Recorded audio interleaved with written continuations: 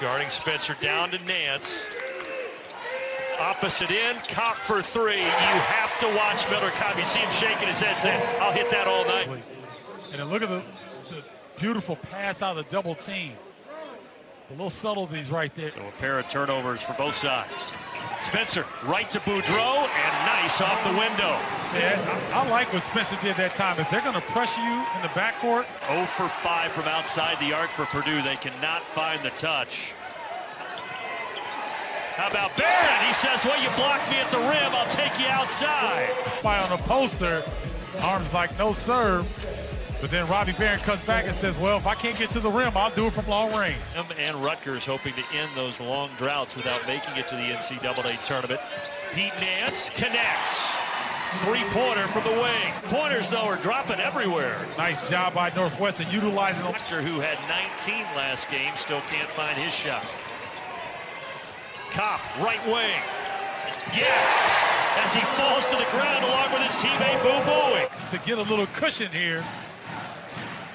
See Kopp catching, adjusting. Well, let's see if Northwestern can take advantage of it. Pat Spencer. And he does take advantage of it. Spencer can flex on this one because that's a premier defender in the Big Ten Conference. And he's, you know, trying to exchange some pleasantries.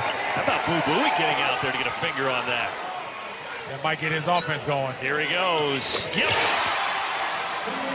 Comes up with the block. And Spencer, good recognition knowing that Boo Buie made that play.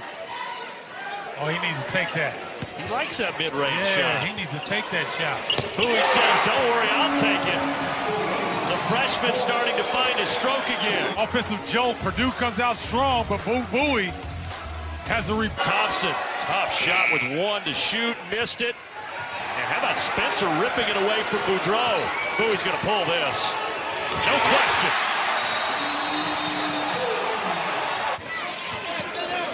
Young, but Eastern got in there to disrupt it. Young, how about the stick-to-itiveness? It's going to be a problem.